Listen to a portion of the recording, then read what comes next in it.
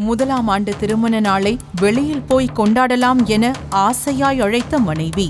வயிற்றில் உள்ள பிள்ளை பிறக்கட்டும் போகலாம் என கூறிவிட்டு கணவன் வழக்கம் போல் வேலைக்கு செல்ல தூக்கில் தொங்கி தனது உயிரை மாய்த்து கொண்டவர்தான் இந்த நிறைமாத கர்ப்பிணி.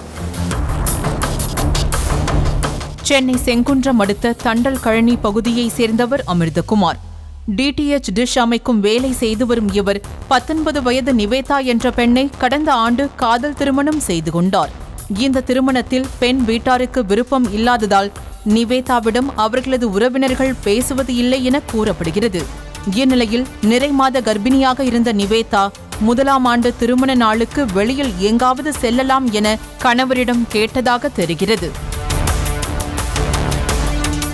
கணவர் அமிர்தகுமார் உன் உடம்பு மிகவும் பலவீனமாக உள்ளது என மருத்துவர்கள் கூறியுள்ளதாகவும் அதனால் குழந்தை பிறந்ததும் நாம் வெளியில் செல்லலாம் என மனைவியிடம் கூறியதாக சொல்லப்படுகிறது. ஆனால் இது முதலாம் ஆண்டு திருமண நாள். கண்டிப்பாக வெளியில்தான் போய் கொண்டாட வேண்டும் என அடம்பிடித்த நிவேதாவிடம் குழந்தை போல் அடம்பிடிக்காதே புரிந்து கொள் என பக்குவமாக கூறிவிட்டு வழக்கம் போல அமிர்தகுமார் பணிக்கு சென்றுள்ளார். ஏற்கனவே தனது பெற்றோர் பேசவில்லை என்ற வருத்தத்தில் இருந்த நிவேதா முதலாம் ஆண்டு திருமண நாளில் கணவன் தன்னை வெளியில் அழைத்து செல்லாமல் வேலைக்கு சென்றதால் விரக்தியில் தூக்கில் தொங்கியிருக்கிறார். இந்த நிலையில் அமிர்தகுமாரின் சகோதரி மெர்சி வீட்டிற்கு வந்தபோது நிறைமாத கர்ப்பிணியான நிவேதா தூக்கிட்ட நிலையில் இருப்பதைக் கண்டு அதிர்ச்சியடைந்து கூச்சலிட்டார்.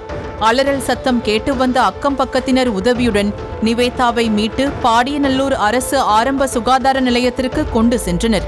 அங்கு பரிசோதித்த மருத்துவர்கள் வரும் வழியிலேயே இறந்துவிட்டதாக தெரிவித்தனர்.